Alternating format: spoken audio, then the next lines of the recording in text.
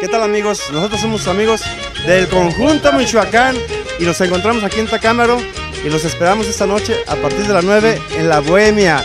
Repórtense, los esperamos.